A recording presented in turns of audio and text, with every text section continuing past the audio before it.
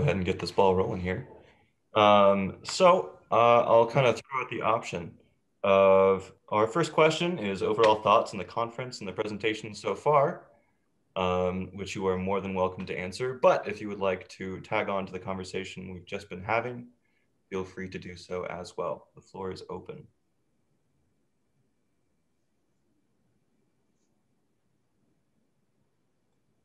Talk about the conference in general, we can certainly loop back into um, what we were just doing in the last session.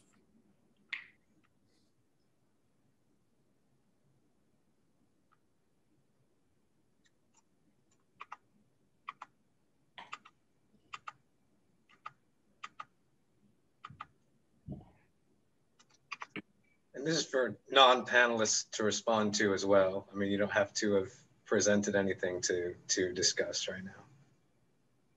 Right. In fact, we want you to talk. We professors don't want to talk. I'm not. I'm not going to say anything except to procedurally. Yes.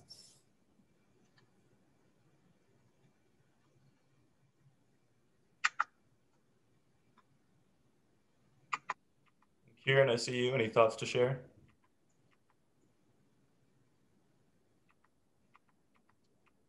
Me, Kieran, or is there? Not. I'm reading the questions at the moment. I'll I'll I'll say something if I need to, or when it comes up. Think. Maybe we need to move on to number two. Do another question. Don't feel like you got to read all of the questions at once. That might be actually more confusing than not.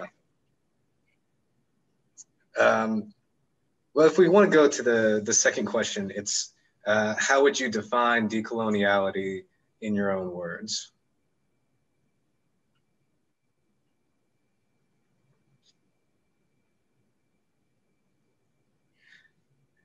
And the definition of things are important because if we don't define our terms, we won't know what we're talking about and we'll be more across purposes than not.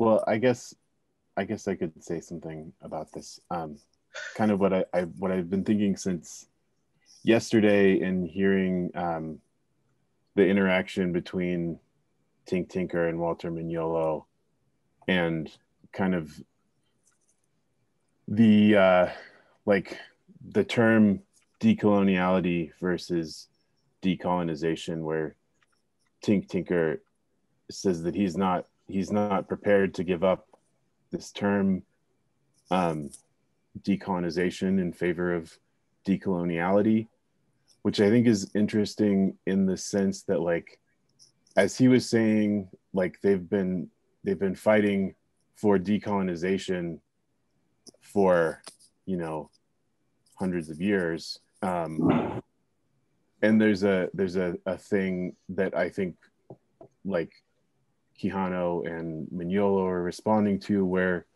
the term decolonization becomes sort of appropriated by the process of like making independent nation states in the mid uh, 20th century. And so like Mignolo is responding to that and, and, and needing a different concept, a different term to distinguish it between that. Whereas um, Tink Tinker and you know like maybe maybe American Indian movement kind of in general um, is still like maintaining their use of the term decolonization um, that precedes this like appropriation of that term um, that comes about just basically from you know European powers deciding that that form of colonization is like more trouble than it's worth. So those are those are my thoughts about that.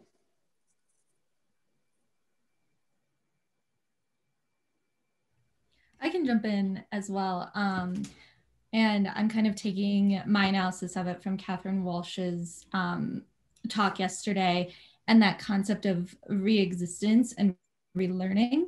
Um, and to me, that really like speaks to that concept of um, decoloniality, of reclaiming those cultural norms, those cultural traditions and language and land that has been um, removed and reappropriated.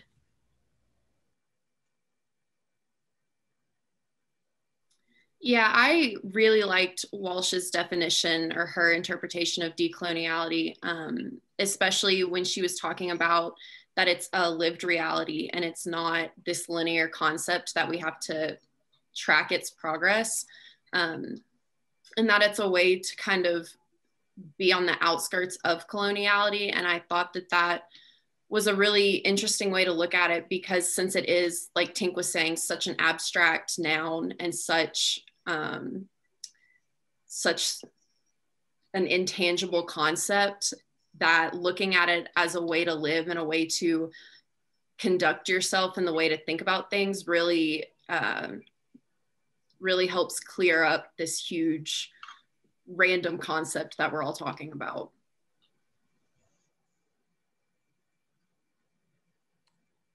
so maybe to move the conversation forward we can move into the practicality of decoloniality. And where do you see aspects of decolonial, decolonial, decoloniality happening around you? Um, and the question I'm more interested in is what does doing decoloniality look like to you know all of the people in this group who I'm sure have a, a vast, vast amount of expertise and experience in doing so.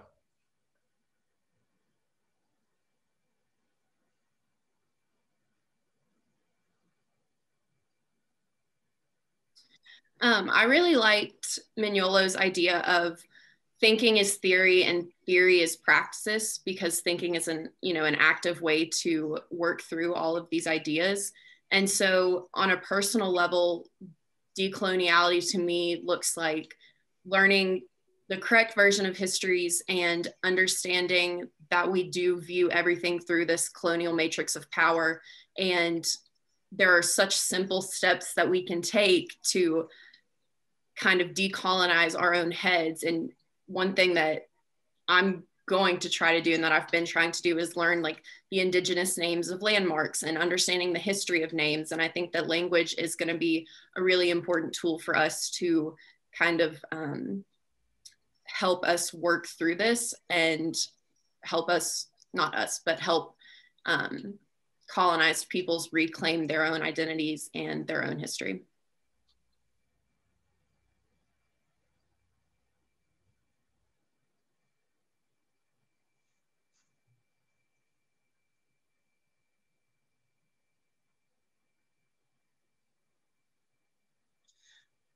How might that affect the history that began after colonization? Because there is a risk, I mean, unless you, unless one considers it a positive outcome of completely excising the history of peoples that have come after that aren't necessarily, you know, out there enslaving people or oppressing people, but they have you know family that have been here a long time they have relationships to certain landmarks that in an ideal situation wouldn't have existed in the first place but we're past that now right? So um, finding a way to not alienate people that don't have the relationship that indigenous people have um, to this place that we're in now um, but not to ignore the needs of decoloniality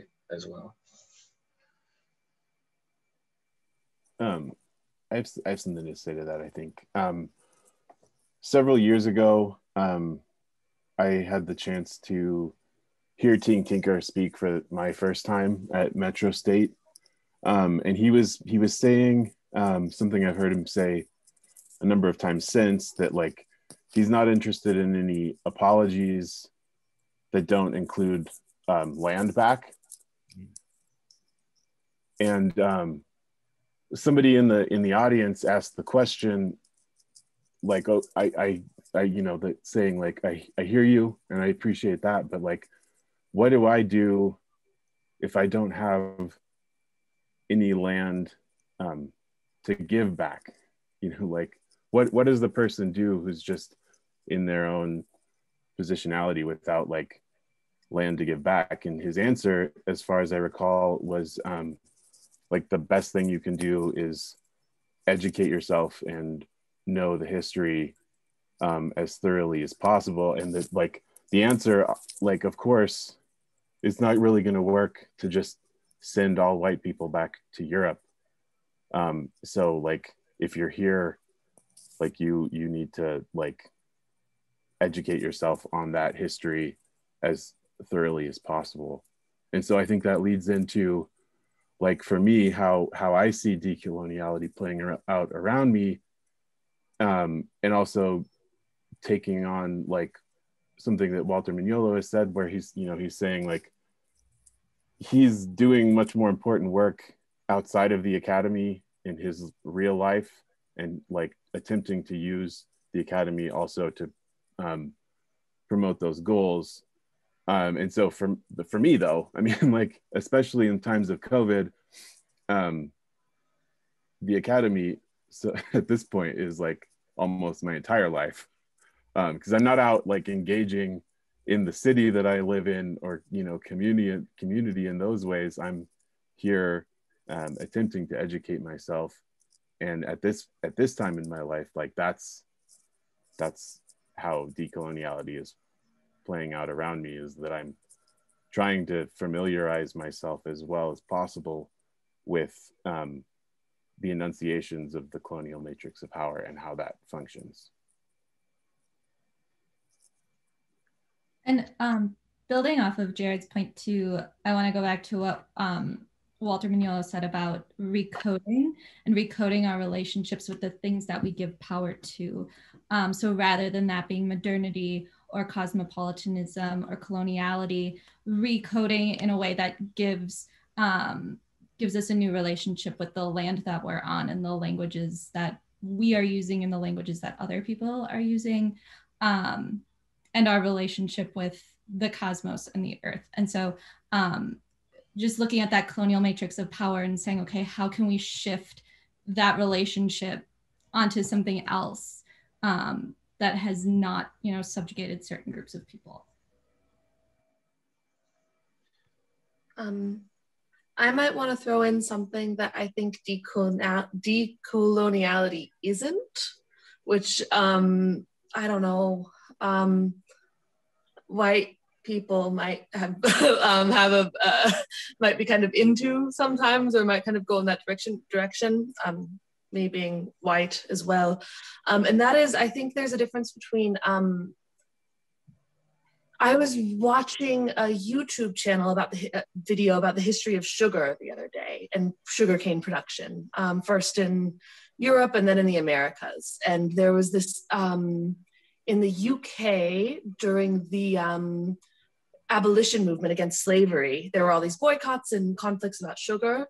And what the British did, or people that were abolitionists, was they, they stopped buying sugar from the Americas and bought it from India instead, um, because then they wouldn't be supporting slavery anymore.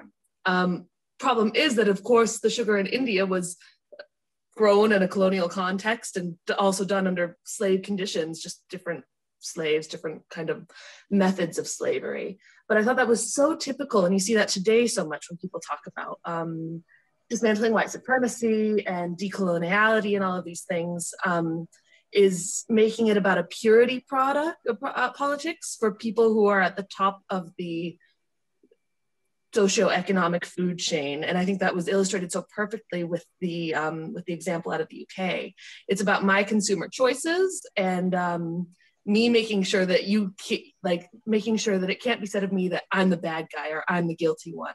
It's all about a white politics of purification rather than actually doing justice. And so I would just like to um, promote that part or say that I think any kind of decoloniality has to um, come to terms or have a really highly developed concept of justice. Um, otherwise, I think you're just kind of playing with um, with um, signs and symbol, symbols like, like, like appearances anyway. I think parallel to that, there's also the um, potential fetishization of this whole concept, right? Um, so, you know, if you look at commercials now, it's just, um, you know, the post BLM protests and all that, it's just black people dancing in commercials, right? And so this is like the idea of, okay, now we're aware, but it's, it's still a sort of purgation. It's sort of, we feel better about ourselves because we're doing, we're, um, you know, highlighting this problem that has been um, put before us, right? So it's more about showing awareness. It's more about the self than the other. Um, and I think a part of the source of that kind of goes back to, uh, well, not, it, it's related, but it's not a part of um, necessarily what Alyssa was talking about with decoding, which I think is um, pretty integral um, as a propedeutic process, like a you know a prerequisite process to the whole endeavor of decoloniality. There needs to be a kenosis and emptying out of the previous epistemology because when we think about decoloniality, if we haven't done that, we're going to think about it in a colonial mindset. So when we think about something like land back, are we thinking that that means giving property back to the indigenous people because they don't that's that can't be what it means because they don't have that concept in the first place right so it requires a sort of emptying out before a filling up with um, uh, sort of action points and, and what uh, idea agendas of what we can do because if without that then we're just going to be kind of um, perpetuating a uh, a sort of wokest version of decoloniality that's not really accomplishing anything but just changing the accoutrement, you know, the, the guise that coloniality has taken on. Yeah, just one more short thing on that um, is, um, I mean, Carl's done good work on this too, on this tradition of um, white wokeness, which isn't that new. Um, it, it, you know, it's um, the kind of the fetishized image of the white liberal um, that doesn't really, that purports to be doing something for social justice or something decolonial and really isn't. And I think that's so all over the conversation that it's really hard to even get at the problem from uh, an authentic place. It makes it difficult for me anyway.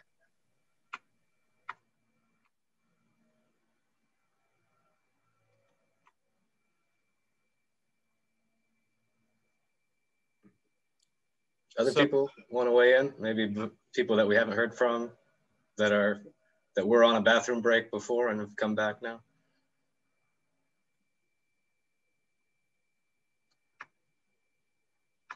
Or do you want to take the next question, Brian? Yeah, I'm gonna I'll go ahead and rephrase the last question we've got because that kind of flies off pretty well. Um, unlearning is a vital part of decolonial delinking. Meanwhile, as students, you know, how, however old a student you are. Um, we're all in an academic conference right now. Uh, we are constantly engaged in a pedagogical situation that seems rife with a tension between unlearning and its inverse, namely learning in a matter that tends to reinforce the dominant narratives of modernity and the colonial matrix of power. How do we balance learning and unlearning in an academic setting? I think this is a question Diana has a lot to say on. Um, I'm not sure if I not agree, but I'm not sure if like unlearning sits well with me because no matter what we do, whatever societal complex we're in is still going to be in, in some way ingrained in our head. And so I kind of think of it more as taking a step back and being able to um, detach yourself from your own beliefs and everything that you think you know and stepping back looking with an objective eye and realizing that you may have learned all of these things however there's two sides to every story and so while you know you you're not going to forget how to ride a bike. There may be another way to ride a bike, and then you can do both and kind of forget the other one, but it'll still be there. And so I think the, the best way to approach this kind of decoding and delinking is understanding your positionality and understanding that that had shaped your opinions and your your own knowledge um, but opening up space in your head for understanding that there are two sides to every story and understanding that they're both val or well that they both have substance to them.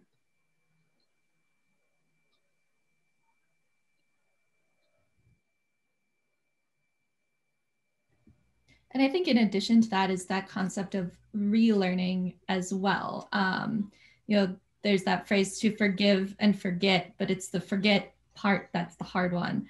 Um, but it's a notion of of relearning all those things that we had originally learned and then attempted to unlearn but i think it's less about forgetting about them and more about um, reframing them within a, a, different context along with that recoding so um, i think i completely agree with you diana that that's something that you can't really do you can't just pretend that you didn't hear something um, but it's reframing that within a different colonial matrix of power within a different um, context.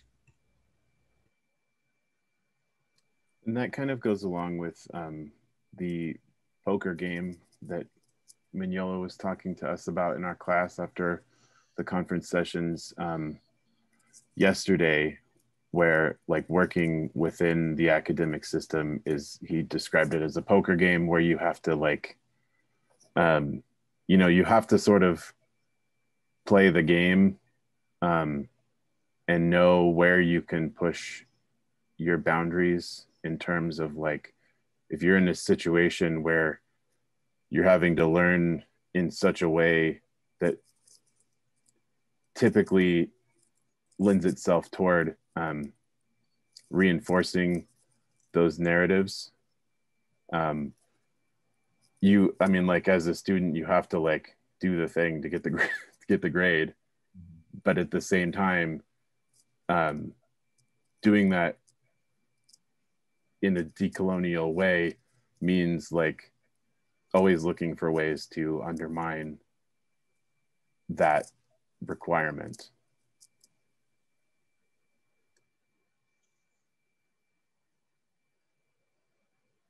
is there kind of um, maybe uh, a bit conservative perspectives on unlearning, mm-hmm. i think and you know what might be of interest um, in this effort is uh, and paige weitzel can talk more about this than me i think if she's on um, but phenomenology um, which kind of deals with the um, you know observing the observer and investigating one's own internal, um, uh, you know, the the infrastructure of one's uh, internal hermeneutics, um, which is, I mean, which was really just the the secular sanitized version of early spiritual disciplines, right? If you read the books of Tasawwuf from uh, the the Muslim tradition, for example, or the uh, maybe some of the Gnostics in the Christian tradition, it's just, I mean, that's what they were doing. Um, but you know maybe resourcing though that discipline in which is interesting because that's also i mean th- that's straight out of you know the western tradition the I mean, phenomenology anyway uh, of the modern western tradition um, but utilizing that to actually kind of um, introspect and see what there can be uh, see how far this unlearning process can go um, may be a, you know, an interesting interdisciplinary effort. But I'm not an expert on phenomenology by any means.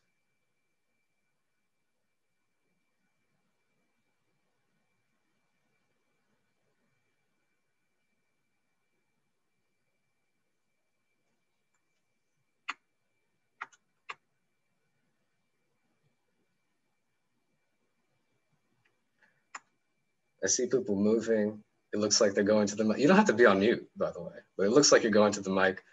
So I don't want to move anywhere because I want to give you the chance, but I know you're like hesitating Is somebody else going to the mic. Just talk, it's okay.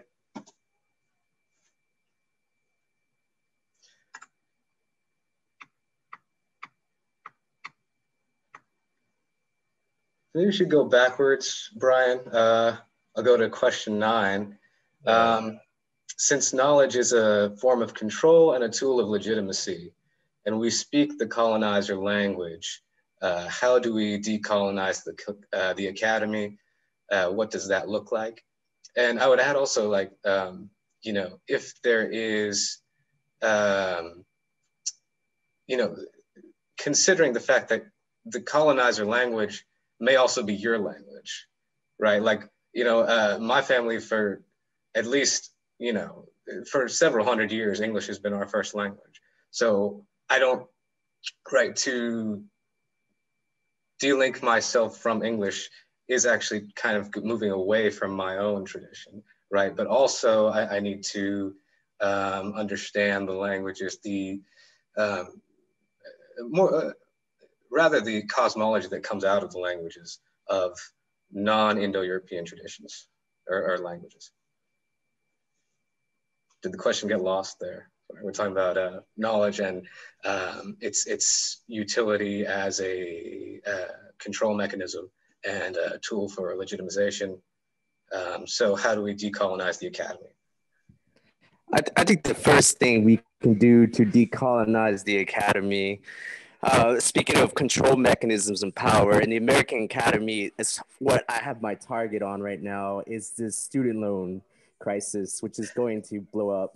And so, um, saturating the entire generations, beginning from the millennials and on down to Gen Z and so forth, with you know, easily six figures of debt, um, as um, you know, that's that's slavery. That's called slavery. That's uh, high performance of capitalism, and you know, you look at other um, nations don't quite have that same debt problem that we have. So it's a particularly American phenomenon. Um, so, you know, how precisely is this linked to knowledge? Um, I guess we're aiming to gain knowledge and indebting ourselves for this, but um, I think that that's is probably the most practical thing we can do right now. And the US is to um, kill the whole student loan thing. It's it's uh, gotten way out of hand, and uh, it will be our uh, albatross around the neck probably within the next ten years.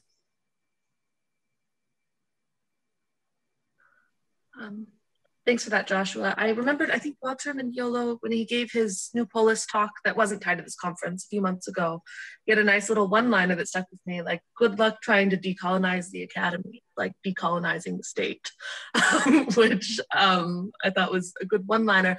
But Josh was absolutely right. I mean, if you're going to decolonize the academy, I think it's very, like, you need to talk about student debt and also accessibility because these high uh, tuition rates block so many people out from higher out of higher education and the people that it, it's absolutely a, a, class issue right um, uh, uh, um, there's of course the there's these like we can talk about the epistemic ways in which knowledge is structured in the academy and that's a really good conversation but it's also just a question of access um, if so if most of the world can't access the academy um, yeah, then I don't think there's any hope in decolonizing it. If they, if they can't access it, if they want it.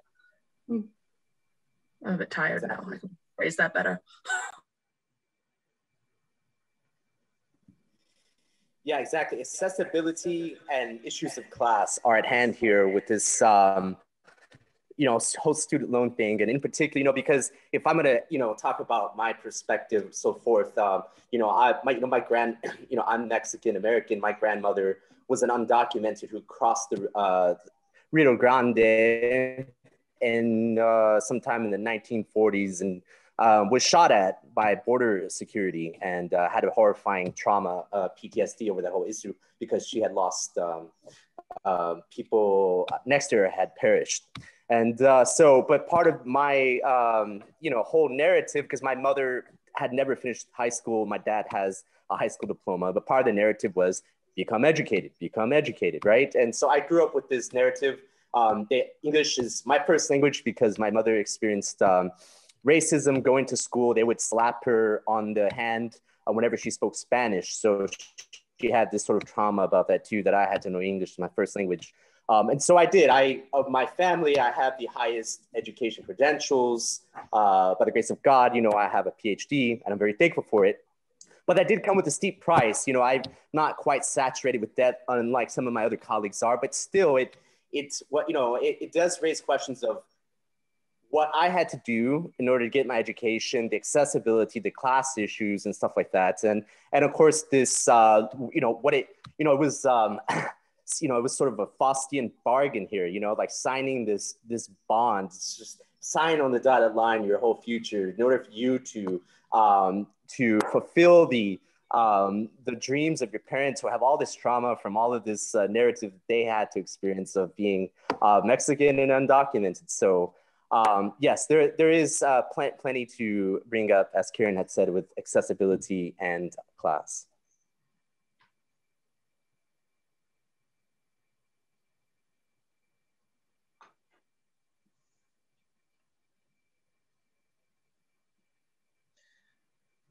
Well, upstream of that, I mean, there are also, I'm always going upstream because I, I want to deal with, you know, I, I, see that there are core issues that are like the kind of the genesis of other issues.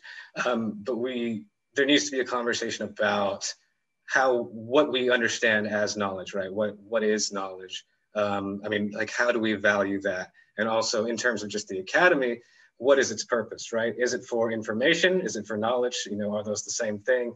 Is it, do we think of it in economic terms, right? Is it an investment for you to get a job? Um, and so then you can, you know, kind of pay back, you know, that's your ROI, right? Your return on investment. Um, and right, I mean, like it's the, it's the whole framing of our concepts of um, what the purposes of these things are and what their, you know, what their meaning is. Um, traditional um, civilizations, uh, they had, you know, many of them, their education systems, there was no cost to that because the idea is knowledge is free, right? Um, and, uh, you know, similar to that is also how we frame our responses to what we see as an issue, right? Because like, if we think of it like as a fight, I, for me, that's just falling right into the bellicose epistemology of the modern West, right? Everything is competitional, natural selection, uh, you know, survival of the fittest, right? It's all, it's, it's a very bellicose, right? It's a war-based sort of um, perspective on the world, uh, a Weltanschauung, right? A bellicose Weltanschauung. So the idea of needing to fight everything when, you know, that's not actually how it works in um, the environment, for example. I mean, now we're seeing that, uh, right, trees that whose uh, roots are in the same area of the soil, instead of competing for the sunlight, they actually grow around each other so each can get enough sunlight to grow, right? So, but our way of looking at the world is very different from that sort of cooperative um, and, uh, you know, growing with, going with um, uh, a worldview, right? So when we see problems, how, how do we respond to them? Is it, do we, you know, pick up arms and go to war as we do with like everything else, war on terror, war on drugs, war on obesity, war on, you know, fill in the blank, right? War on war. Um, uh, so, you know, I, I see that as part of the, um, the control of knowledge. Um, since you want us to talk, I'm just going to add something. just, I don't know what's my best, my most, my, my, most fully thought through thought, but I have a book recommendation. I'll put it in a link to just to the Wikipedia because I don't want to do an Amazon link. I'll put it in the chat after in a moment, but it's um, from Jacques Rancière, um, The Ignorant Schoolmaster. And I think it's a really, it's quite a radical take on pedagogy and teaching and learning. Um, and it's, it has a frame story, which is uh, true apparently. I, I can't remember the name of a of a scholar or professor, but he was French, French, and in the 19th century he was exiled from France, started teaching in Belgium, Belgian, uh, Belgium, and um, he couldn't speak Flemish, and his students couldn't speak French, and yet he taught them a novel that has had both languages. It had a Flemish and a French translation, and the students within like a semester were able to write in French about the topic of the novel right? So they basically learned the language without him, learned French without him teaching. They were able to communicate um, and they were able to kind of overcome this big language barrier. And so Rancière kind of takes this, and this original professor, who I forgot the name of, it's in the book, took this really far and tried to develop a method of um, illiterate parents teaching their children how to read um, because it's not about and kind of and the idea was that it was breaking down the hierarchy of knowledge a knowledge bearer a teacher giving a knowledge to another person rather it's kind of i mean there are concepts of this like president montessori and all of these kinds of things too. Teaching isn't about really content but it's about teaching someone to learn. And that's not just critical thinking or what we kind of do in the academy. There's also like a phenomenological aspect to that um, a problem solving kind of a very tactile um, and also aspect. But really it was radical in that in this case in that um, language was so accessible to people if they just engaged it something that you always think of through this hierarchy. But these students learned enough French to write about a French novel within a few weeks. And it was partially from the method and partially from this kind of like radical or what he would call liberated approach to knowledge. Um, I mean, I don't know how much you can verify that. I think it's a good frame story uh, in any case. Just kind of start thinking about teaching and learning and kind of the hierarchies of knowledge that are produced in the academy too. Because I mean, you see people that are so many of us pursuing advanced degrees are just like just neurotic people. And i think that's um, produced on purpose within the academy um, this deep insecurity about knowledge and intelligence. And this book kind of kind of go um, tries to find like a radical argument against that. Um, and i think it's an interesting take. But just to get at the neuroses and hierarchies of knowledge i think it's a good read. Yeah medical science uh, selects for arrogance and phds select for neuroticism um, have you heard of John Taylor Gatto? A very similar sort of story about pedagogical, I mean, kind of undermining the standard um, pedagogical uh, ideas over here. He was teacher of the year in New York State a couple times. Um, yeah, but he, one of the things that he did, um, and I, I, guess this was decades ago now, um, but in Harlem, he went to basically the, the worst school in Harlem um, and students that everybody had given up on. Um, and one of the, the, the, most fascinating things uh, that people you know, began to study after the fact was when he went in there, he went in with the expectation that all of them could get A's in everything that they were doing. Um, and he treated them with that expectation. And what happened is from all of these students failing, they easily got A's. Sim- and it seemed it was just because of the expectation of the teacher um, uh, in, uh, of his students.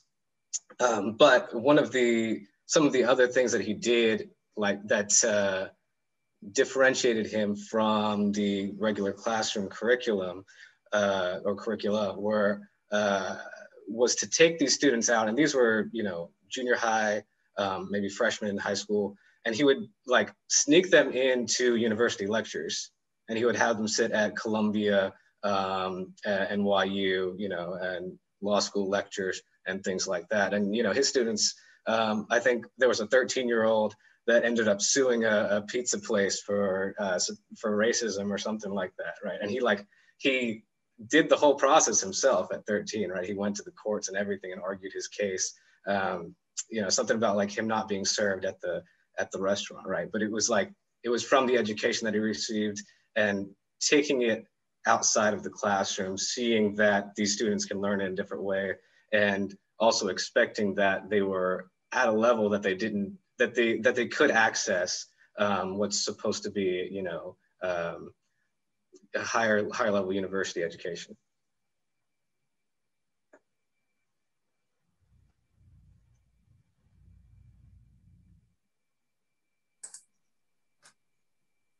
Um, I'd actually like to jump in here and ask a question. Um, I'm curious if anybody here thinks that white people can actually decolonize. And I say white people, meaning like actually most of us here, even if we're not white, we have this Euro-Christian worldview. You know, we, we all are colonized in some to some extent. Can we actually decolonize or um, is that do we need this another alternative worldview or tradition to turn to in order to complete that decolonization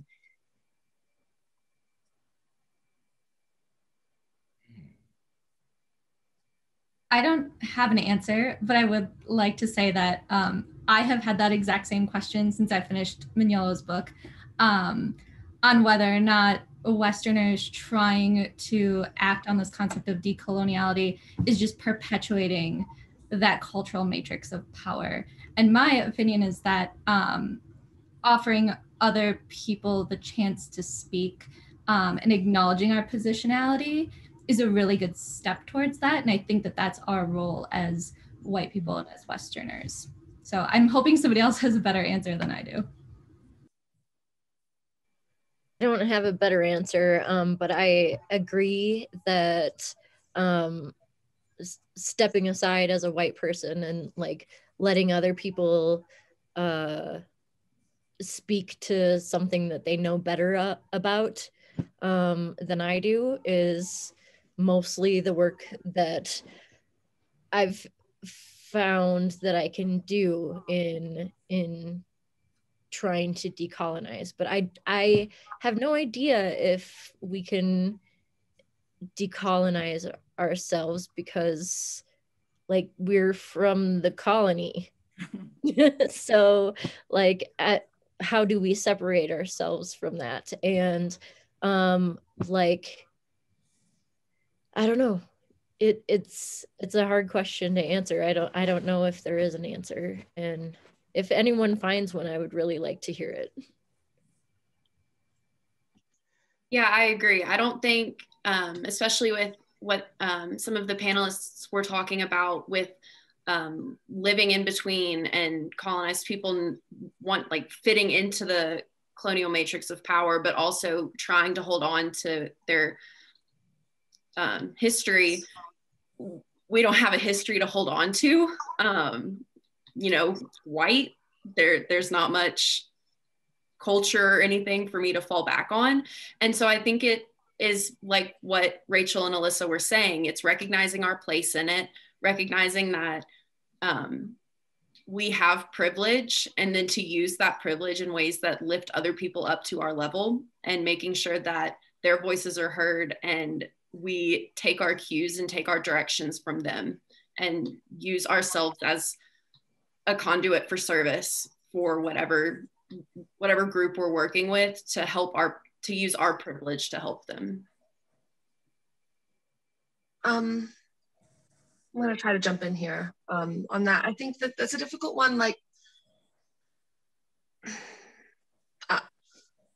uh, um, i haven't when white people talk about white privilege I'll, I'll put it this way.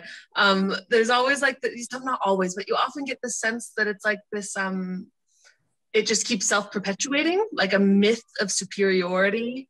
And is, isn't that the whole history of colonization? Like how col- colonization, there is like a socioeconomic and uh, political power that's implemented um, through colonization, which is bad and real and brutal. Um, but there's also that's fed by a myth of white superiority. Like that's kind of how it's made possible that white people believe themselves.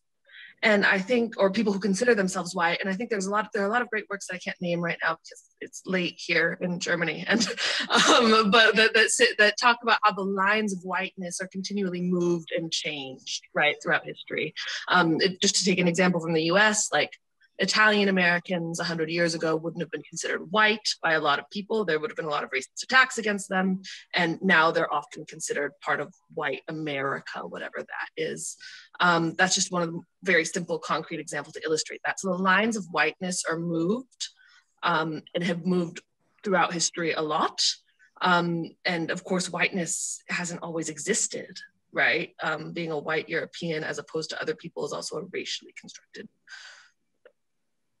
a myth, uh, uh, you know. Um, and so I think maybe one of the if white people can decolonize, I think one of the best things white people can do is just like, or people who consider themselves wise, white people who count as white, people who pass as white, is just to not believe this myth of superiority. Like, because even when you, people talk about privilege, they're still believing that myth. I have this privilege, I have this, I have this level. And so I, I think that just maybe that's the unlearning that they're getting at in the questions. Once again, if I were more awake, I could put that better.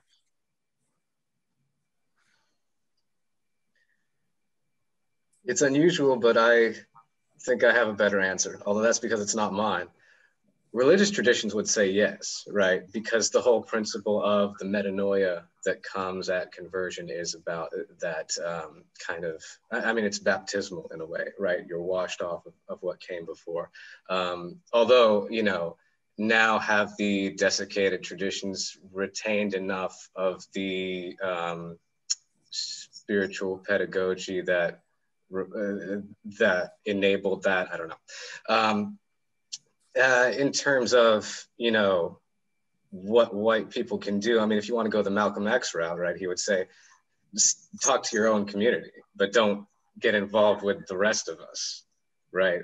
Um, and, and, you know, a part of that is the danger of tokenism, because if you're saying, well, you know, we'll just follow the lead of whoever's up there, but then if you are in institutions and you happen to be in positions of authority and, and able to select these people, then, you know, can you be sure, like, you, if you're not running it meritocratically, or um, if you're not able to see through the color, because choosing people to lead because of their color is the same thing as, uh, you know, choosing them not to, as, as, you know, putting them down. It's the same as putting them up. So, um, you know, to, you know, in order to avoid tokenism, um, I think that there is, you know, th there is that opinion, right, in the ether that you should stick with your own community. Um, these communities should, you know, stay stay with themselves or work together, right? Um, you know, after uh, Mignolo talked about the Bandung conference or Bandung conference, which I, I think you know is a pretty helpful example of that line of thinking because that was just all the, the weak countries basically you know all the third world major the major nations in the third world coming together and talking about how they can um, i mean basically it was like you know a cooperative effort from all these non-white non-european non-american um, communities and traditions so you know that that that opinion is there and then there's the other opinion that everybody needs to work together and then kind of figure out um, a where everybody's place is in the effort. So which way it's going to go, though, I don't know. I don't have any position on that. Carlos, did you have something to add?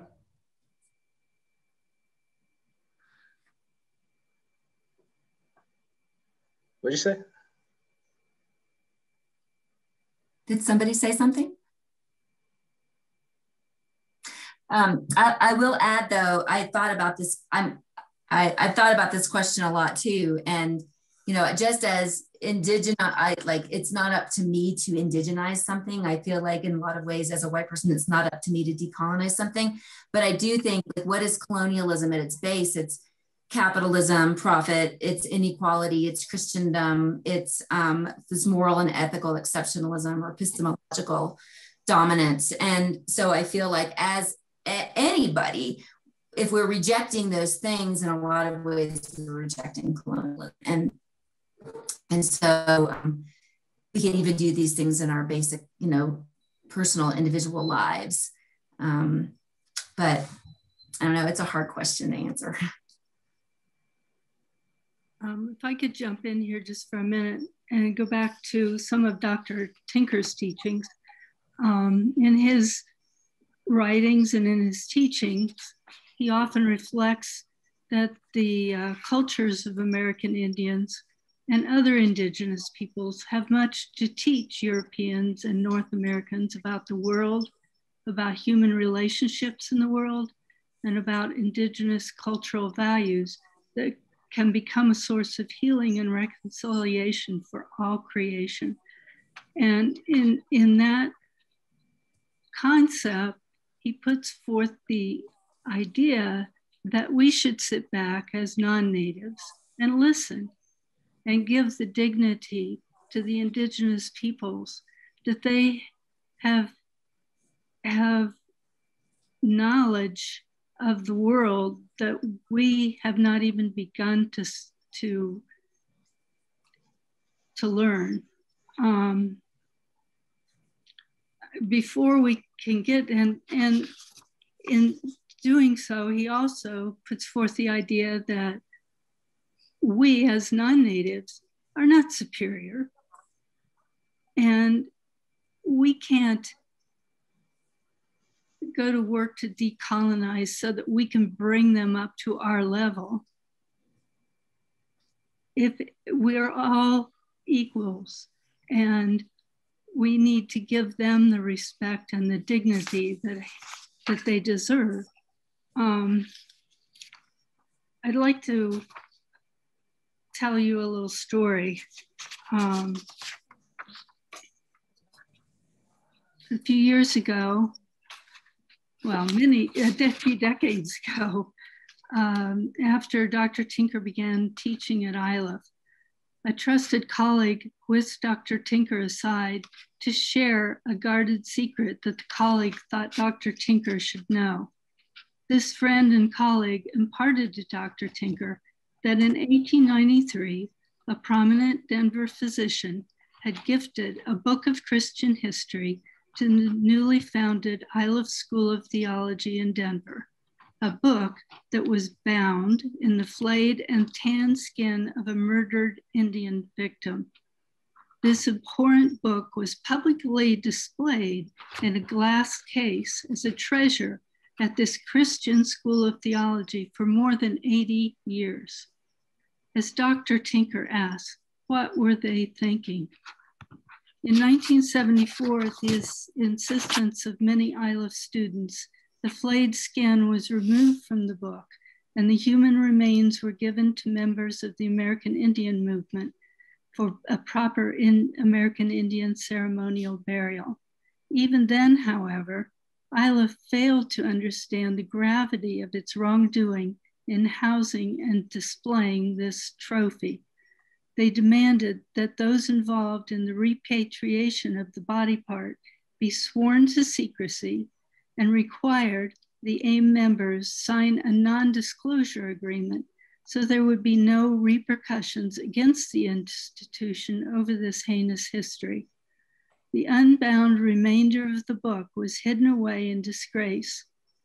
Although since 2015, the NDAs have been cast aside and Iliff has committed to owning its part in this human tragedy of promoting racism and lasting and generational damage to Indigenous peoples.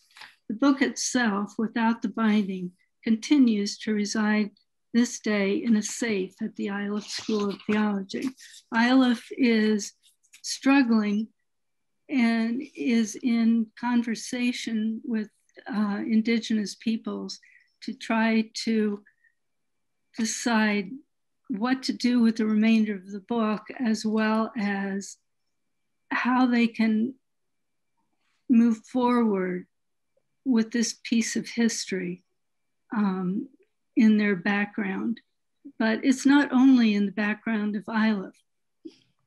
Back in the 1800s, late 1800s, this is the entire attitude of the founding of our country. And if you go look at Johnson v. McIntosh, it's laid out so clearly there um, we, in decolonizing, we have to go back to this history and we have to listen to Indigenous peoples and we have to put them at the center today of ongoing issues that they've been struggling with and, and, and facing for centuries. Um, for example, you know, how we treat nature, the climate change, the uh, pipelines, and that sort of thing. You know, there are a lot of nonprofits out there run by non Indigenous people, and they're doing what they think is good work, and, and a lot of it is good work. But if they would listen to Indigenous peoples whose very being is tied to the land for centuries, and let them take the lead on these issues, it would go a long way to decolonizing our minds as well as our institutions and our structures around us. So that said my piece.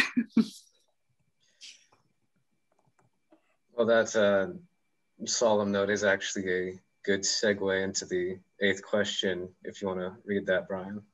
Yeah, that was an excellent segue. Tink Tinker discusses the fact that many natives conformed to modernity and even converted to Christianity in the 19th century without considering the compromises they needed to make in conforming to this up down image schema, or the idea of one group being superior and maintaining control or authority over another. How do we see colonial compromises like this continuing to take place today?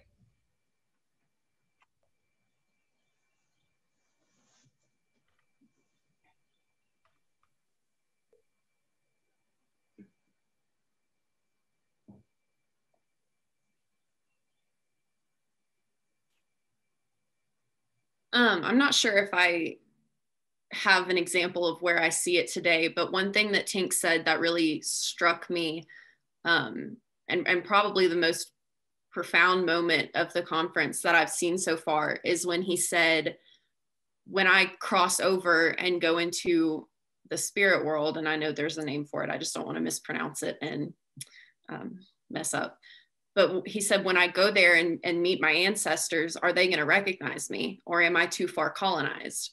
And then he said i'm struggling really hard to teach my granddaughter the the ways of our culture so that her ancestors will recognize her. And i had never thought about that. I that had never crossed my mind. And when he said that i was just it just kind of took my breath away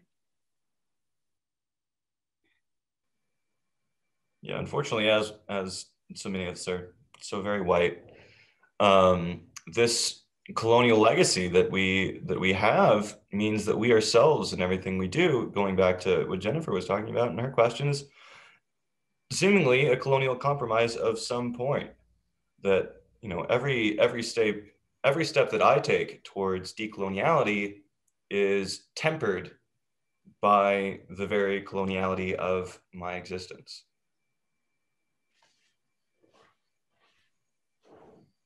Well, I think one of the starts might be that, and I apologize for not having my video on, um, trying not to scare anyone with my appearance, but um, I think one of the starts is institutionally that we have more representation of who we are as a peoples, um, because power seems to beget power. And as long as we have a white power structure that makes our laws, that forms our institutions of knowledge, you know, they will retain power. And the only way to break that down and to, to get away from our colonial past is through representation um, of a more inclusive um, population. I think that's a good start.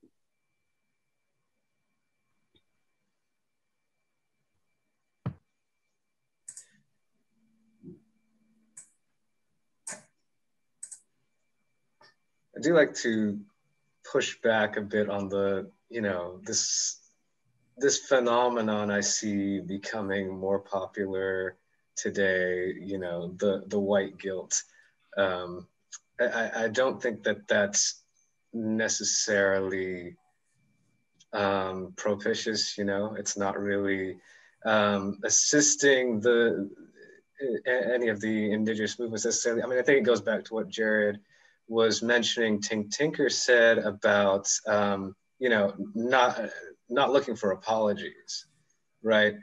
Because you know acknowledgement is one thing, but then to identify yourself with the um, with whatever guilt might arise from that is, is another. Going off of that a little bit, um, I've attended a lot of Black Lives Matter protests over the last couple of years. And one thing I've noticed is this really interesting infiltration of white people and white identifying people into the BIPOC community. Um, and a lot of times there's this push for white people to go to the front of the line as a form of um, protection, um, to kind of use their positionality as a way to give the BIPOC community an opportunity to, to voice what they need to voice.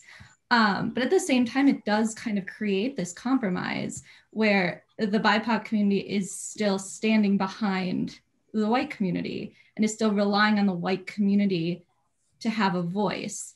Um, and so I'm not I'm not really sure even where I stand on that, but it's it's this really interesting dichotomy of um, the intended reversal of power, but I don't know how much um, is actually warranted from that and how much is actually gained by the BIPOC community from that. Well, and I would say that I wouldn't strive for uh, white guilt per se. My point was more to make room for different or alternative perspectives through representation. You know, you need to quiet the loudest voice if you're going to hear those who have been marginalized and then consider their perspectives.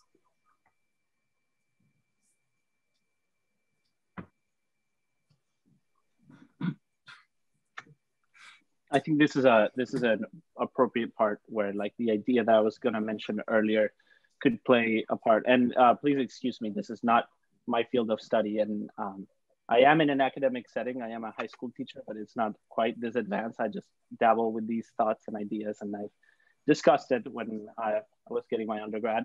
Uh, but I'm definitely at a different level than everybody else here. However, I think it's very interesting uh, the question of the role of white people in, in decolonizing. I think that as much as we are all equal in nature and uh, innately uh, one and the same, systematically the system has made it so that certain people have power and certain people have don't have power. So I don't think it's useful for us to be like, oh no, we don't actually have the power. Like it's not, it's it's not real. We're all equal, but we have to see how we how we can use this power um, to to revert it or invert it. And I think a, an interesting concept is the idea of not decolonization or decoloniality, but recoloniality of re-inviting uh, the the pre-existing cultures or the ways in which these have evolved through mestizaje and several other practices to permeate our culture and flood it again in a, in a way kind of like repainting the canvas rather than trying to chip away at the at the horrible stain of history and trying to like remove it. Let's just uh, I, I propose that it would be more interesting to find ways in which we could repaint it by inviting the culture to actually recolonize and retake over um, uh, the, the, world. And there are certain things that can't be undone, right? Like the, uh, I'm from Spain. So the Spanish invading uh, Latin America and indigenous culture mixing with Spanish culture. You have like in Puerto Rico, you have the Taino culture with which mix with uh, African traditions, which mix with Christian traditions, and now they they've become a, a homogenic mixture that is, is is not that easy to re-separate. And even the people nowadays, it's like, okay, well, I'm part Spanish and part African and part Taino. How do I kind of like decompartmentalize myself and identify with which root? um, because I am all of these. And rather, what if we could embrace the diversity, the new uh, third that has come from the, or the new fourth that, that has come from the mixture of three, and um, and, and allow those voices and allow those cultures to to take predominance, which I think, uh, and this might be a bit frivolous, but I, I see it um, happening with like even in, the music industry. I have a music background with the rise of uh, Latin American artists being more independent and mixing with uh, African American traditions and and you see it a lot in the arts. The intersectionality, I think, is way more evident than in the academia because arts are more accessible. Basically, no matter what background you you come from, you have access to some sort of artistic movement. Whereas the academia poses the question of access, right? There's a monetary issue, an education issue, uh, um, literacy issue.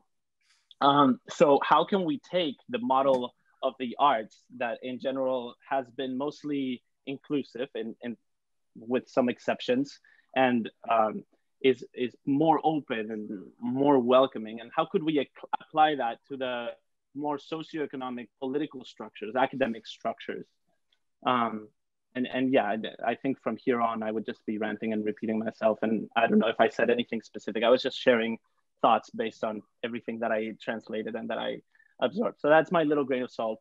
Um, and thank you for hearing me out. I'd love to um, respond to that. I so I just was rereading Homi Bhabha recently, The Location of Culture, and um, he talks about the two, two. He talks about two different kinds of cosmopolitanism, and he said, you know, the dangerous kind is the colonial cosmopolitan. It's um, global cosmopolitan. And I'm reading this global cosmopolitanism, which is prosperity and privilege in a neoliberal um, free market world that there's faith in you know this great faith in technology and we live in these imagined communities like silicon valley. And he said that's one kind of of this sort of like oh we're all the same and we're all living together um, in this multicultural way. But it's actually very much about still about you know neo-colonialism or uh, neoliberalism. But then he calls the kind of um, cosmopolitanism that he aims for is vernacular cosmopolitanism, and he calls it wounded cosmopolitanism, but it's this, he calls it a right to difference in equality. So we're equal, but we're different. And he said it's not about authenticating anybody's origins or identities, and it creates solidarities um, and works toward democracy. And so he talks about his example is Trinidad, and he says in Trinidad, um, the people may complete in some ways um, when, in their losses, but they've not lost their their culture. They're communitarian. They're busy. They're noisy, um, but they're still tolerant. And so it's a different kind of cosmopolitanism. And so I feel like what you're saying, Carlos, is more this vernacular cosmopolitanism where people are coming together in their differences rather than in this like one big market neoliberal society um, and you know these sort of like um, false maybe sort of communities that aren't really communities. It's you know the people that people are constantly moving for finding jobs for profit um, you know and for um, somehow to continue to contribute to the, the market society. And so we, we form and deform and reform all of these sort of global cosmopolitan um, communities but it's not very authentic Right. And I think that that is because of the nature of the issue of power. It's like as much as um, the colonizing entities, i.e., white people, want to help, like we have, we possess a certain type, a certain amount of um, power and privilege that, as has been mentioned before, is is dangerous to even acknowledge and feed because we don't we don't want to. On one hand, we need to be aware of it, and, and on another hand, hand we need to de-escalate it but then on another hand, we need to use it for the empowerment.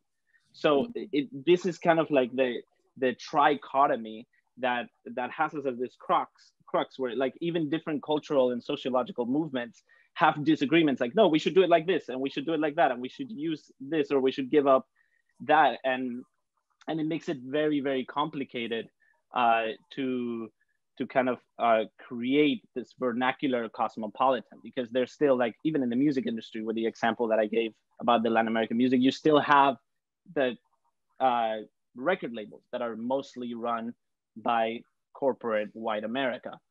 Uh, so it's like okay we give it the pass because like being conscious and being multicultural and like latin culture now is in but if in a decade it stops being the norm then they're going to focus on something else. So it becomes an issue of, of empowering. How are we going to, to make sure that the vernacular cosmopolitan has, can have cosmopolitan can not only have their cultural expression, but they can also be part of that kind of more urban cosmopolitan Silicon Valley thing so that they have the power to make decisions because otherwise we have to dismantle the whole economic system, uh, which is a much bigger endeavor um, and this brings back the point that was mentioned before of just allowing people to have leadership roles based on their socioeconomic background, which is a bias in and of itself. So all these, uh, but I all these things are like very messy and but I think as as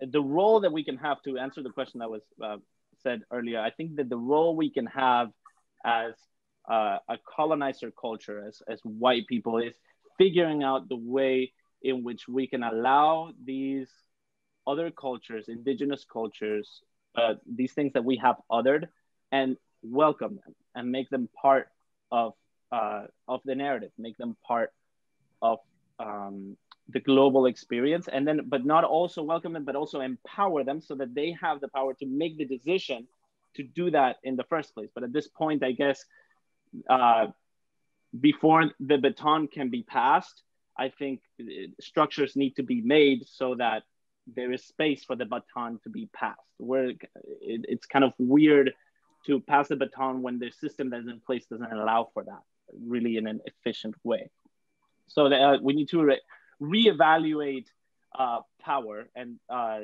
use it, uh, use the power to give it up. And how do we do that? How, how would we, this is an interesting question. Like, how would we use our power uh, that is, well, it's not our, it's, it comes from systematic. We don't necessarily embrace or want this power, but it's there, unfortunately. So how do we, how can we use it to give it up or dismantle the structure of power in the first place?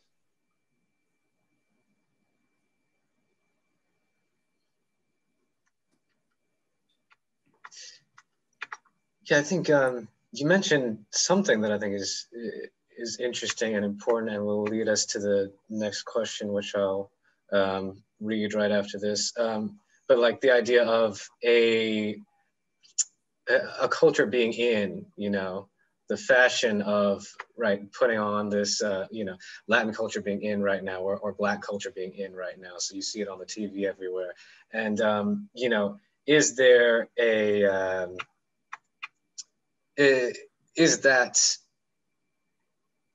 can we strip that from the economic incentives of uh, that the powers to be see in making those things fashionable, right? Can, like because people can turn a profit by um, promoting these these uh, these images and and you know the uh, the whole cultural phenomenon, the, the zeitgeist of right now, right? But then in ten years, in five years, in three years, when it's not making money anymore, will we stop seeing that, right? And so, and and if it is underwritten by an uh, economic interest, um, how uh, how much can we trust that? How do we kind of, um, if that happens, how can we commandeer that, right? So take it and then and then make it something that's authentic and lasting.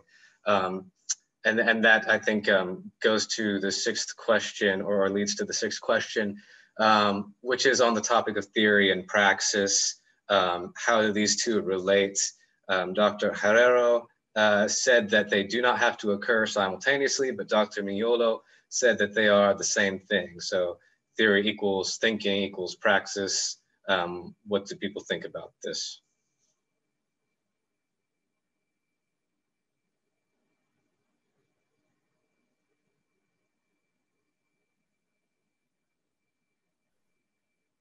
Well, hopping on uh, what you just said about you, you made a very interesting point about the economic incentive behind uh, behind behind this kind of like cultural promotion. The very interesting thing is what's behind that. If there's an economic incentive, that means that people are consuming it, and if people are consuming it, does it mean that people are becoming more inclusive, or are they or are they being convinced to be more inclusive? Because like it's a chicken or the egg question. Like is the industry promoting these images because people are interested in them or is the industry making these images interesting in order to make money from them? And if it's the former then i think there is hope for some sort of longevity to this because then it's not being driven by the by the corporation but it's been driven by actually the client. People are being more aware more inclusive and therefore consuming uh, products or uh, cultural uh, content that is more in line with the liberal not uh, the, the, the liberal ideas that we have towards a better society and a better world.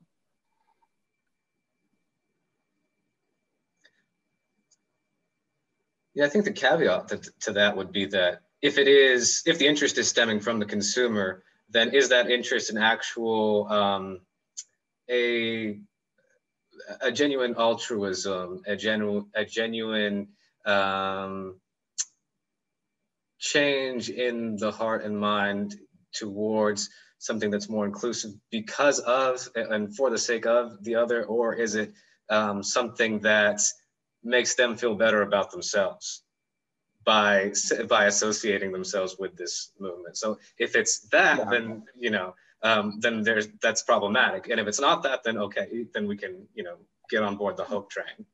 yeah i mean i think there is is definitely a, appropriation?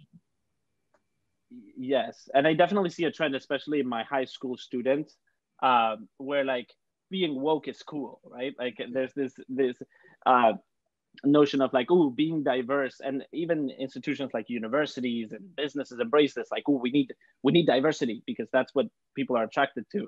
And uh, some people are coming from a place of authenticity and some people are faking it in order to have a better image of themselves protect their self-image and and stuff like that. So so yeah i mean of course people are coming from different places and people are coming from a more uh, people some people are coming from a more authentic educated legit uh, approach. And some people are just kind of like hopping in because that's what the society is leaning into and they don't want to be judged and they don't want to but even that is some sort of cultural transformation that i think promotes change because if all of a sudden i have a student who is who is maybe more conservative or or you know um, he has uh, ideas of racism that he has absorbed from his parents and stuff like that. And he goes to school and he hides them because of what other people are going to think.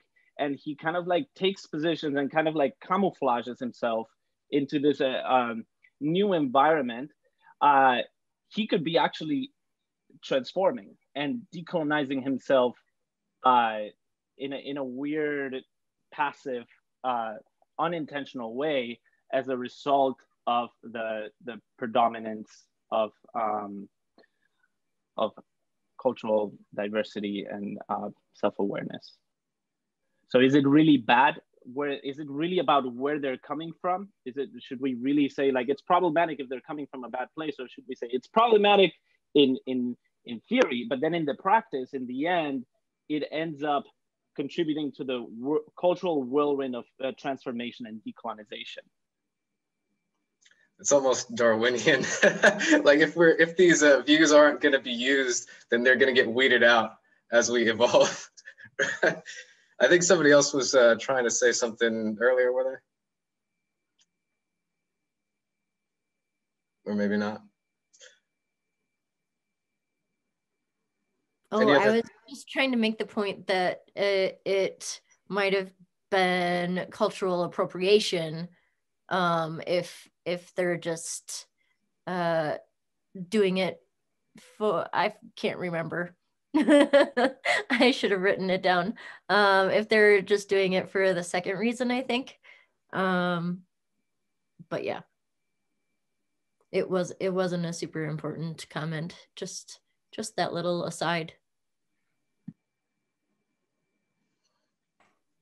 But in appropriating decolonial culture, is that is that uh, you know where where where do we take that of okay so yes they are they are mimicking they are they are just kind of going along with the crowd and yes that is cultural appropriation but if the culture that they are appropriating is one that helps them to delink from racism and from colonial strains of thinking from and become more decolonial um, where do we where do we put that uh, cultural appropriation on a moral scale All of this reminds me of, I'm not sure if y'all will remember uh, a few years ago, the huge trend and craze with um, Native American headdresses and Native American outfits, especially like in the music scene and young girls, yeah, getting dressed up in these super elaborate headpieces to go to festivals. Um, and everyone who was in their circles were like, oh, you know, you look so good and whatever. And then we had the outpouring of knowledge from indigenous and native communities saying, hey, this is super wrong. You do not get to wear that. Dream catchers are not to be tattooed on your body. And so while that was a really harsh form of cultural appropriation and all of these white girls running around in this this piece that does not fit them um, a lot of people got educated about it and learned from that experience. And I know personally, I did all the research and learned about the significance of dream catchers and headdresses. And and so there's always like that that other side of the coin as to even if it was um, promoted with with wrong intentions, it still has the capability to teach and help um, give back significance to people who didn't know that it was there. Yeah, it's almost a weird thing where it's like if those people hadn't been culturally appropriating something and uh, making the indigenous community completely uh, infuriated about it, we would have never actually heard the voice of the Native American community and we would have never leaned towards educating ourselves. And now, like, if a kid comes to a Halloween party in my high school with a Native American costume, the whole school, all the teachers, the majority of the student body are going to shut that down and education is going to uh, take place. And this student is going to have a kind of like traumatic experience that is going to serve him to grow and be like, okay, so in the modern world that I live in, this is something that's that's not okay because of why? Because of racism and because of other things. And all of a sudden you have this kid who, if he hadn't done that, wouldn't be asking himself these questions and growing in these ways and in a way transcending his own cultural appropriation and his own racism. And i find that fascinating. I think we can i think we can learn from each other. Um, and there's one thing to say you know I, I, mean i've been a student of Tink's for a long time and i um, have had a lot of conversations with him about you know i want to do things that are in some ways things that I've learned from him and his indigenous worldview, but I will never be indigenous. And my goal is not to be a Native American. And I think that's the difference. It's I can um, do things that um, sort of push back on, um, you know, uh, capitalism. I can do things, I can teach from my perspective, I can teach what colonialism is to other people. Um, but I can't really be the one to teach about what an indigenous what indigenous worldview is. That's not my role. And um, so I think that there's a lot of things we can learn without appropriating it. And so we can we can act in ways that are environmentally, um, you know, that are better for the environment and the climate. But that doesn't mean we're being indigenous because we're doing it in a way that I learned from Tink Tinker. So I think um, I think there's a difference between learning from and practicing in ways that still maybe have the same ends as far as like keeping everybody healthy and keeping the environment clean and and um, not killing off the entire earth um, without claiming a specific identity. Um, I think when you start claiming identities, that's when you start getting into trouble. Um, and I know that there's um, there's a group of Navajo um, professors who are working with this one um, global development group in Denver, and they want to teach what they know because they see it as the last ditch effort to save the planet. Um, and so they want white people to listen to them. And I asked them, I said, Are you aren't you afraid to share this knowledge because you're are you, aren't you afraid it's going to be appropriated yet again? And and one of the answers was, well, this isn't our knowledge. This is everybody's knowledge. And um, we can share it. We can't help what people do with it, but we're going to share it. And so I don't know. I think it's an interesting conversation, appropriation.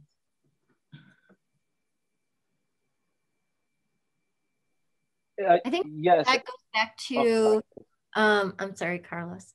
Um, no, no, go for go for. That goes back to the um, discussion of uh, whose knowledge is it anyway? And um, like maybe maybe the thing is that like knowledge just like needs to be shared which does kind of uh make things success susceptible to to appropriation but it also uh, gives people space to learn about things other than the things that they've seen. So I feel like maybe the whole solution to decolonizing is like sharing knowledge. Um, just sharing what we know about ourselves, about each other, about and about our own cultures and um, religious practice and um, yeah, I don't know. I don't. I think that the academy uh, should be like I don't know, free or broken down in some way that uh, would make it accessible, like Kieran said. That's all I have to say about that. But on the other hand, um, so the book Ceremony by Leslie Marmon Silko, she got oh, a lot of criticism.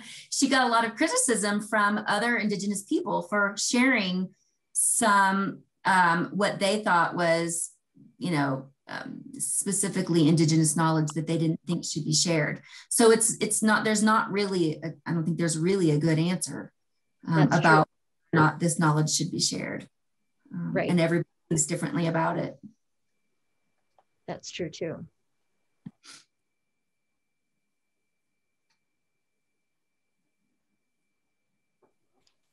Yeah, uh, Jennifer, I really, really like something that you said earlier about identity now and the uh, the idea of how we can spread knowledge and how we can spread awareness, but we can't really claim a new identity as in, it's indigenous. I, I can't uh, claim an identity that's not mine. I could stand with Black Lives Matter, but I will never be black. And the issue is that I can't help no well, white people can't help being white.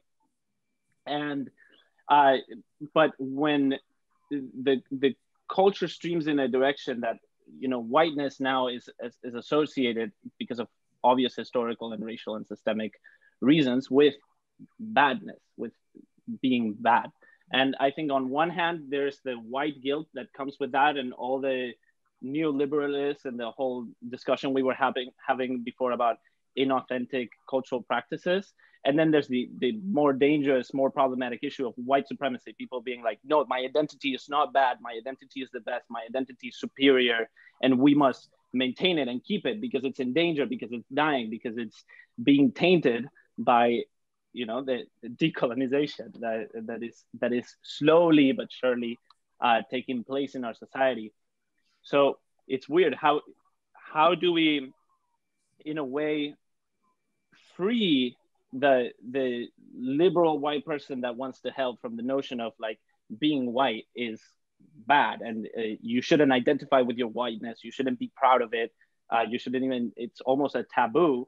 But then it's also you can't be anybody else. So then where's the space for this privileged being that wants to help but whose ancestors have done all these messed up things and and, and like has power but shouldn't have it what like there's an existential crisis that i think a lot of white neoliberalist scholars undergo because of this. And i think it's because of the initial idea that we have associated uh, whiteness with badness in a certain way which is is totally legit and it, it makes sense but it's having these kind of really dangerous uh, consequences.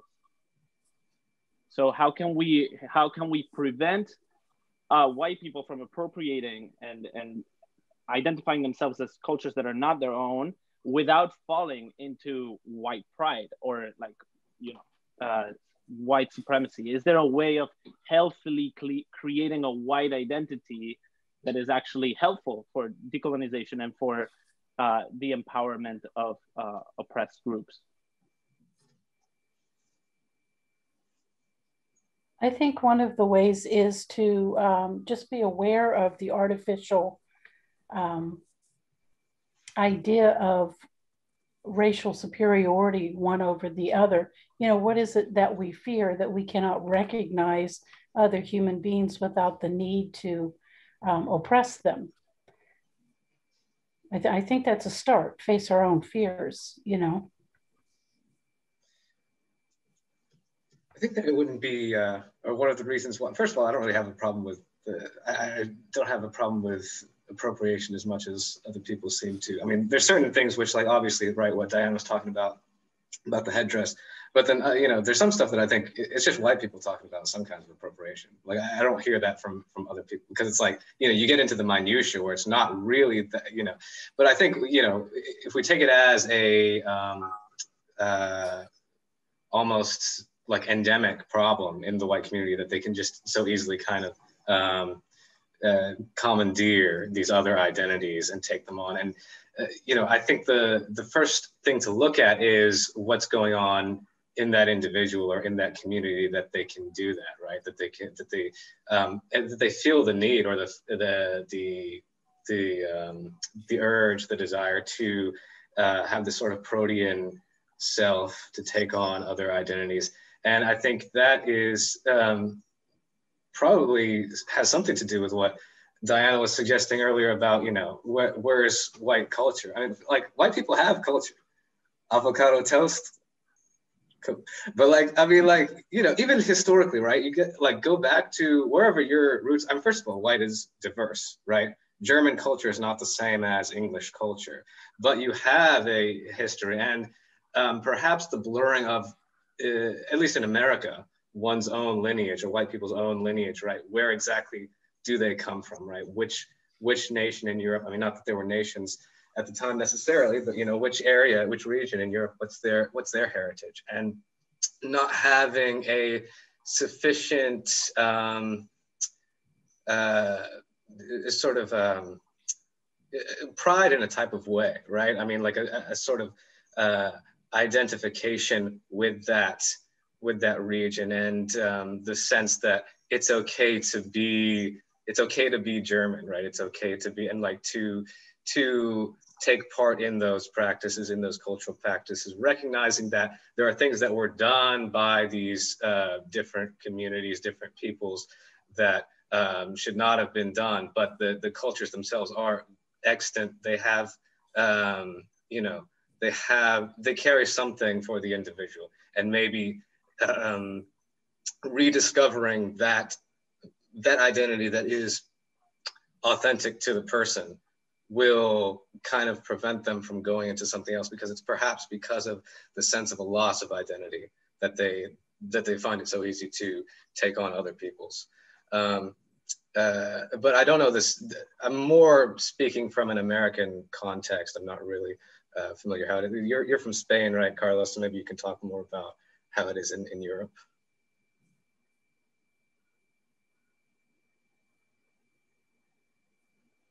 Um. I don't think he can hear you. I am. Well, I mean, anybody can talk, I guess.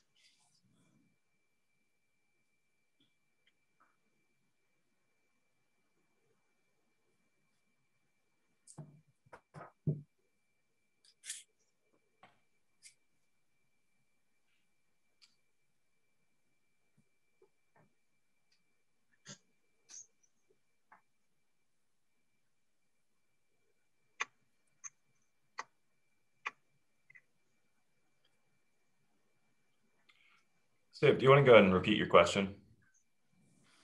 My, did I have a question? I think I was just saying things, right? Um, we can go to the uh, to the next actual list question because I think there's still yeah, question number seven is our last one. Okay. Is decoloniality a product of or a pushback against modernity?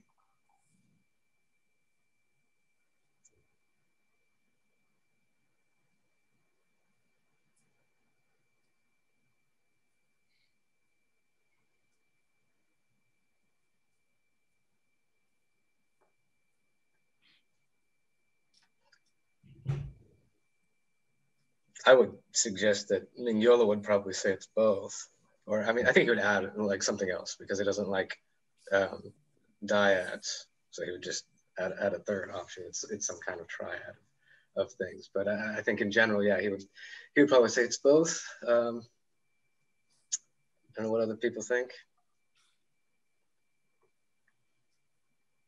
Usually, whenever someone suggests that something is both, everybody jumps on board with saying it's both. Mm-hmm. I think you've got a lot of people who are needing dinner right about now or needing to go to bed.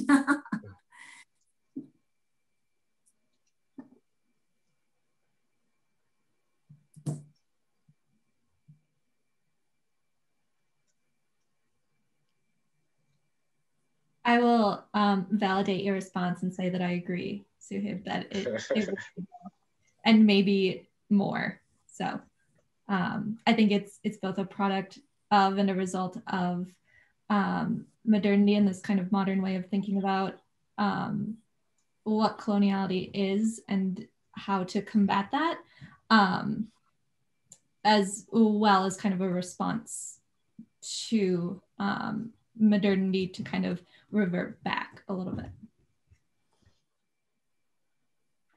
So can I go ahead and change up this question here? I have heard modernity equated to capitalism, at least in an economic sense.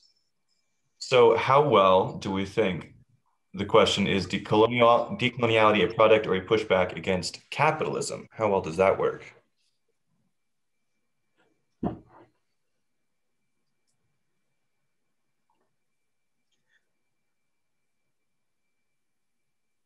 Well, I think modernity in, incorporates much more than capitalism. I mean, there's clearly a sort of um, imperialistic, um, uh, you know, crusade to capitalize the world and sort of just like we're democratizing the world and everything. But um, you know, there are certainly. Um, I mean, I, I, wouldn't say that necessarily uh, communism is necessarily decolonial, right? I mean, it might be in a sense, it might not be.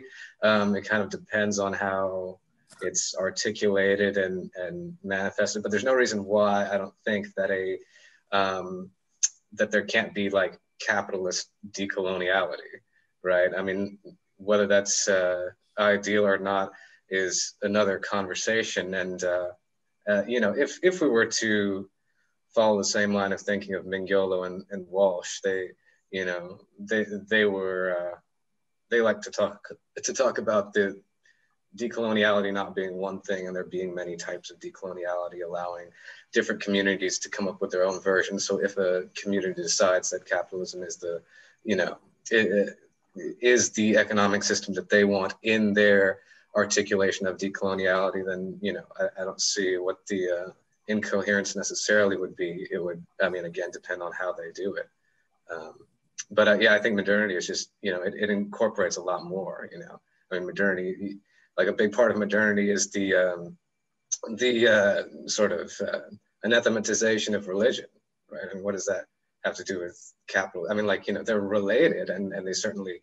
Um, I mean, obviously they went in hand in hand. Otherwise, they wouldn't have historically corresponded. But uh, they are distinct phenomena. All right. Appreciate that. I mean, I think I think we can even flip it around and even say that decoloniality is the result of modernity, because yeah. modernity allows for the spread of information, and basically, uh, as a coming coming from there, we receive the information through our technological access, and now we can resist uh, colonization because we have a medium through which we can acquire information.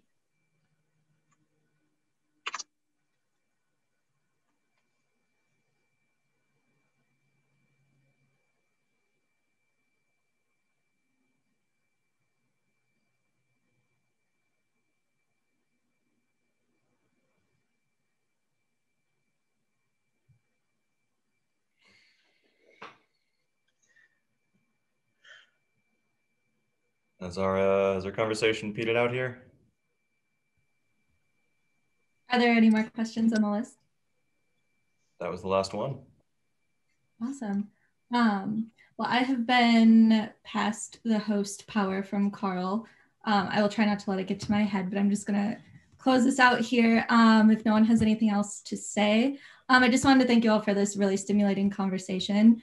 Um, I know that I have gotten a lot from this, and I hope that you have as well. And I hope that you'll join us again tomorrow at 8:30 um, Mountain Time um, for the final day of the conference. So we hope to see you tomorrow, um, and the link should be in your email. So thank you all for attending today.